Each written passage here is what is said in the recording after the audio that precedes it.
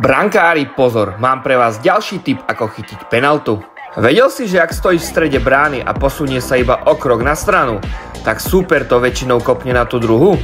A to je veľká šanca pre teba vystihnúť správny smer penalty.